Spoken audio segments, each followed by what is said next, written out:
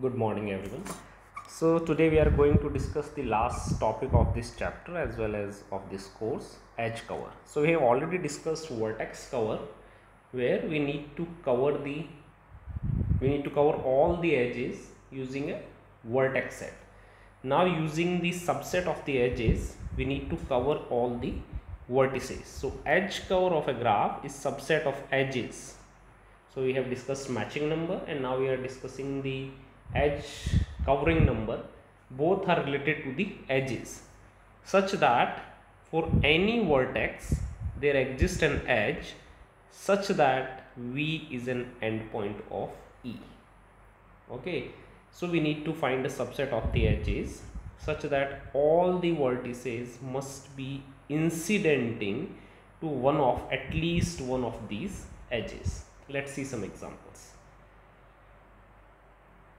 so these for these two graphs the red edges shows an edge cover because you can see that all the vertices are incidenting to these four edges in this case and four edges in this case.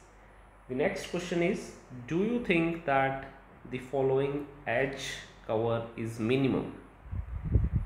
Please do try by yourself and then you will observe that in the first graph there is no other possibility because these three vertices have degree 1 so to cover them we need three edges. And then for this triangle one edge is already covered so we need one more edge. But in the other graph there is a possibility. And this is how we can cover all the vertices using only three edges so now the edge covering number which is denoted as beta dash g please do remember the notations is the minimum cardinality of edge cover. So for these graphs you can see that for the first one beta dash g is equal to 4 and for this one beta dash g is equal to 3 just important note which says that beta dash g is undefined if g has isolated vertex because those vertices can never be covered by edges. Now quickly try to compute the edge covering number of cycle graph, of complete graph and complete bipartite graph. So we start with the cycle graph. If you see C4 then you can see that only two edges are sufficient to cover the four vertices but if you see c5 and you pick two edges then it has maximum four endpoints and therefore all the vertices cannot be covered. So instead of two you require three. The same logic works for complete graph. If I make the graph complete then you can observe that using the same logic if n is even it's simply n by 2 but if n is odd then it is n by 2 plus 1 and in case of the complete bipartite graph if you see k 2 comma 3 then you need 1 then 2 and then 3 edges. 2 edges would not work because if you take the minimum of m comma n then only 2 edges are there which cannot cover the 3 vertices on the other side. They can cover only 2 vertices so for Cn it's n by 2 and n is even, n by 2 plus 1, n is odd. Same applies for Kn and for Km comma n it is maximum of m comma n. What is the edge covering number beta dash g for Petersen graph? Please do quickly try by yourself and then you will observe that it comes out to be 5. Even you can observe that it is equivalent to matching number in this case. And even this matching is perfect. Now the next question is that what is the relation between the edge covering number and matching number? Before you make a conclusion you can see one more example. Here you can see that the edge covering number is 4 but matching number is 2 so from these two examples we can say that the sum of the edge covering number and matching number is equal to n. So alpha dash g plus beta dash g is equal to n. Okay. Now we'll quickly see its proof. So to prove it on one side we'll start with a matching and from the matching we'll form an edge cover on the other side we'll start with an edge cover and we'll form a matching. Yes? So let's start with the matching. So let m be the matching of maximum side which means alpha dash g. So now this matching m has m edges and or let's say it has alpha dash g edges or m edges m edges. So of course it has covered two m vertices so to form an edge cover the worst case is we need to cover n minus 2 m vertices which are not covered by the matching. This is the worst case.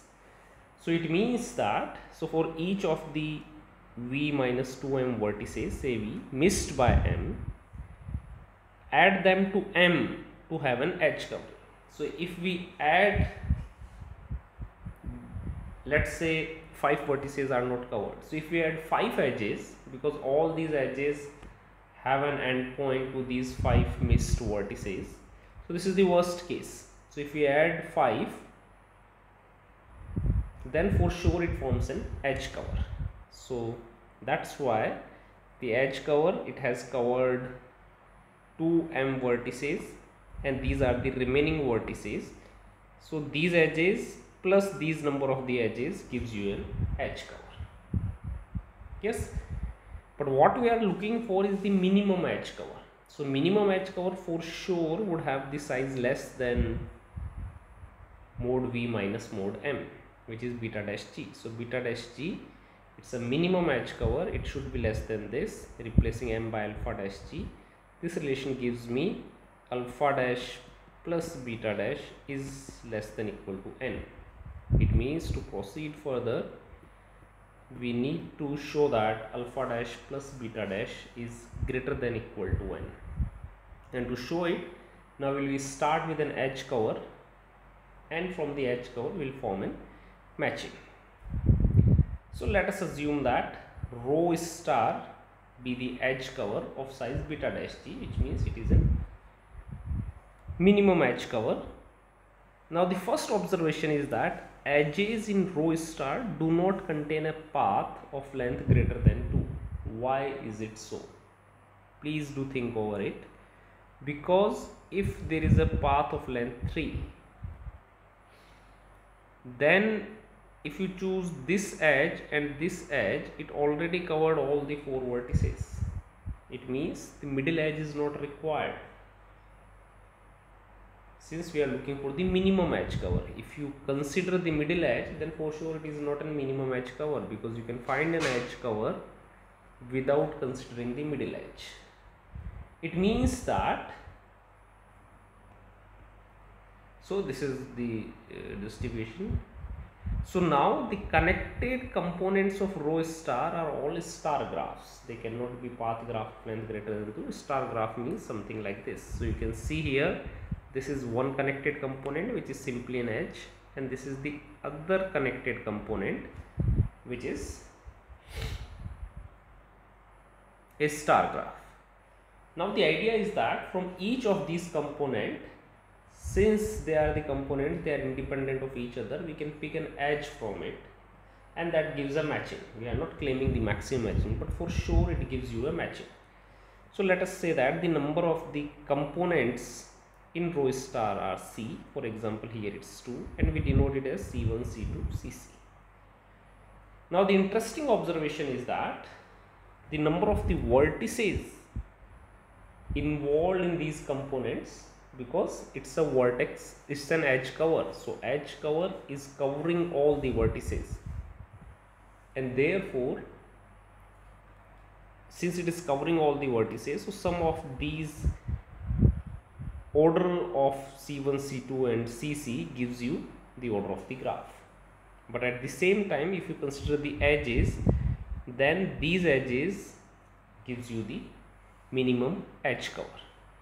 Other than that since all these components are simply forming a tree and therefore we know that for the tree m is equal to n minus 1 it has n minus 1 edges. Now you substitute each ECI here replace it by VCI minus 1 and if you subtract it one equation to the other then you can easily observe that you will get the number of components is equal to n minus the minimum edge cover. And we require this number of the components because these number of the components gives us the size of the matching which we are going to form by picking by picking an edge from each of the component. Also observe that when we are looking for an yeah so this is how we proceed. So choose from each component one edge to obtain a matching M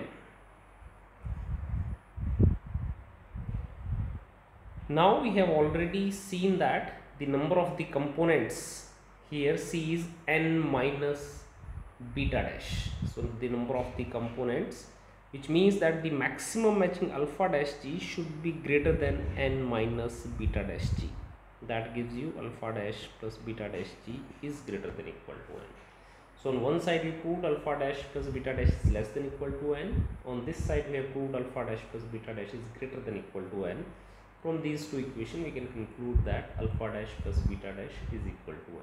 so very interesting proof is there where on one side we start with a matching and obtain an edge cover on the other side we started with an edge cover and form a matching and since we are looking for a maximum matching so the matching we form so the size of the maximum matching should be greater than the size of the matching we form. And to compute the size of this matching we compute the number of the components an edge cover has.